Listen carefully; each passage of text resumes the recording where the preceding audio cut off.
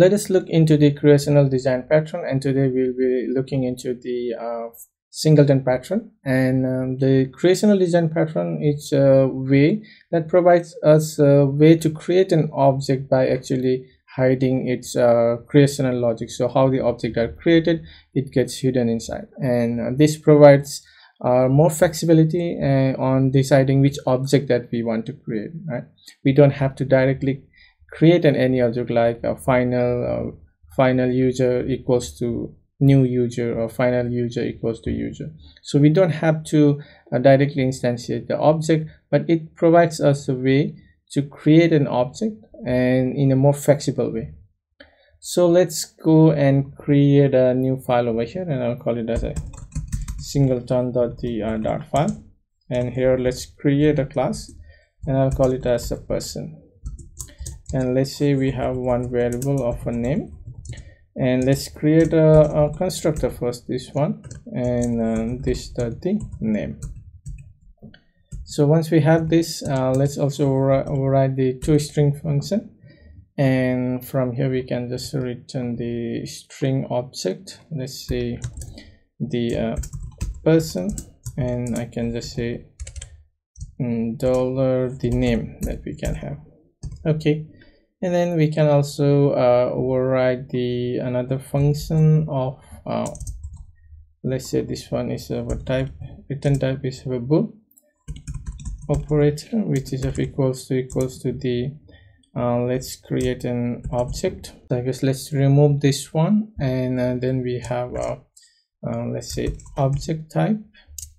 And this is of the object that we get and here let's decide the um, if that particular object that we are receiving if the object is the type of the person right? Then we are going to check some condition over here. If the uh, this dot the name if this dot the name is equals equals to the object dot the name that we are passing in then we will say that this is a same object. So we'll say return true right. Otherwise we'll just return a false from here. So uh, return a false. So this means that we have the operator that checks actually two object of this person is a same or not. So let's go and have a main function over here. And let's say uh final p p1 let's say which is equals to the person over here and we'll pass in the name as something like the Richard or let's call it as a Richard. And uh, then uh, we can just say uh, and create another one. So final p2 which is of equals to the person. And here we'll pass in the name as the let's say uh, the one and uh, then uh, let's have a final. And p let's say p3 which is of equals to the person and let's have the same name. Um, right so that should be fine. Should be of a name. Okay. So now what we'll do is we'll try to check if uh, all of these are the same. So let's go and print out over here. And I just want to uh, let's say a print over here. And let's try to print the uh, p1 right and uh, let's try to print the uh, p2 and then we also print the uh, let's see uh, p3 and let me run this uh, method and we can get that the person Richard, person Dewan, person and Richard. Now let us try to check all of these uh, again. So I'll just copy this again let's go down below over here and I'll just put it inside the string and let's do the string interpolation over here first of all. And that should be of a dollar. And let's do it of a dollar sign and dollar sign. And here we want to check something. So let's say that the p1 sorry i need a string interpolation. So uh, that should be of a p1 dot the hash code and I will do the same thing for rest of this. So let's go over here. And uh, let's go over here. And uh, just run this one. And you can see that the hash code for each of them oh it's the same. Why? Because uh, we have the same object over here. So this is p2 and it should be for p3 so now again if you run we should get a different hash code. Uh, here we get a different hash code here we get a different hash code and here we get a different hash code. Even though the this p3 and the p1 has the same uh, object which is of the richard and richard but their hash code is uh, different. So uh, we can also check like um, print over here and which is of the let's do the string interpolation of the p1 uh, sorry and dollar let's do it inside this one over here. So uh, p1 uh, sorry. Uh, it should be of a dollar and then the p1 uh, which is of uh, equals equals to the p2 right? So we have a p2 over here. And then we'll just run this one. And you get a false over here. And the false means that even though that these contain the same object uh, we are getting the false over there. Also it should be of a p3 not the p2 and then uh, we'll just return it over here. It should it is returning a true over here even though the hash code is different. So it's just checking the uh, here the object of the variable name is same or not but uh, what we want to do over here is um, in this case we want to have a same hash code which means that the memory location of this particular object should be same and it should be created only once. So whenever we create a multiple object of this particular person uh, we just want to have a uh, one object for that we don't have to we don't want to have a multiple objects which means here it is creating a multiple object over here so what we can do is um, let's go up and uh, let's copy this uh, logic over here. And uh, what I will do is I'll, instead of person let's say this is of a um, let's say this is of a car car object. And uh, here I'll just say a car. And uh, let's override this one as a car dot name. And uh, let's override this two this should be of a car. And uh, then this should be of a name. Okay that should be fine. And what we'll do over here is instead of creating an object directly what we want to do is we want to create a singleton object over here. So let's create a singleton object for this one. So let's go over here first of all and i'll just say a car. And i'll create a uh, secondary constructor which is of the let's say uh, internal object and this will be of our secondary constructor. And here we'll create a final and I'll just I think I'll create a static uh, final and uh, let's create of the car object which is of the let's say uh, instance is of equals to the car that we have and the internal. So this will return us the internal object from here. So whenever we call the instance it should return us the internal uh, object. It will create a car object right?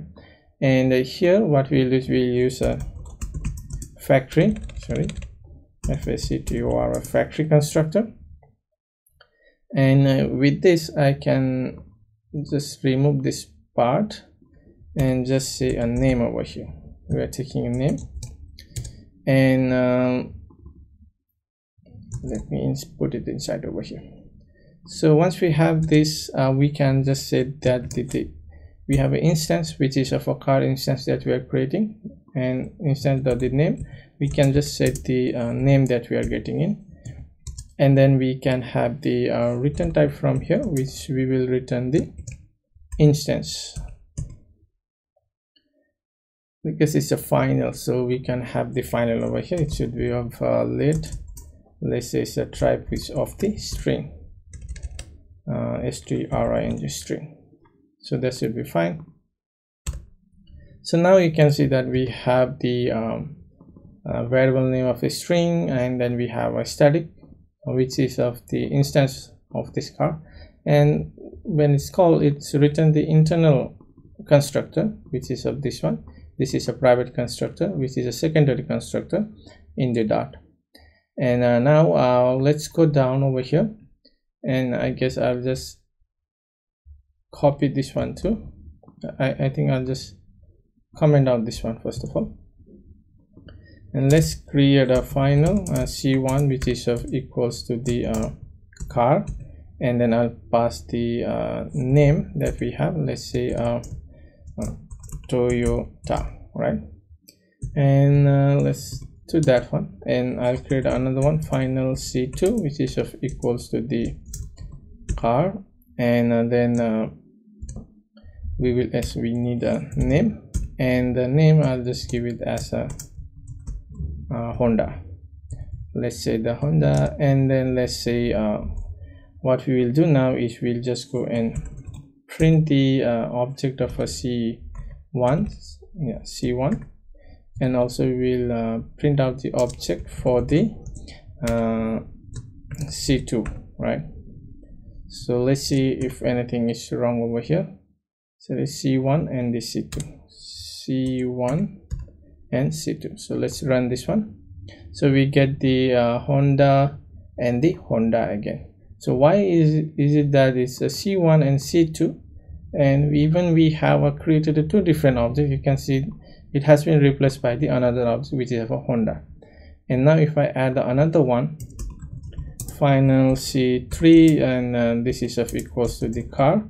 And let's say that this is of the uh, audi. And uh, let's have a name for this one. And uh, if I now go and print that one uh, let's say a print and then I have a C3 object over here. And uh, let's try to run this one. Then you can see all of these uh, particular uh, c1 c2 and c3 is having a same value of the audi why is that? Because we just have a single instance. What it does is the factory constructor over here is going to create a single instance. If that instance is already created so it's just going to return that instance and um, then it gets replaced. So you can see that by calling that particular hash code. So if i want to see the hash code and see check if this has the same memory location in uh, inside our memory so i can just say c um, dollar c1 that we have. Sorry. Mm, dollar c1 and then i can just use a string interpolation of the c1 dot the hash code. And i'll do the same thing for all of our c2 and the c3 so this is of a c2 and this is of the c3 and here we have a c2 and here we will have a c3 so let's run this one. And you can get get that this particular object all of them have the same memory location which means that even we create a multiple instance of that particular object we are going to get the same instance. Okay so all of these objects have the same memory location that's why we are getting just a single instance of this particular uh, object.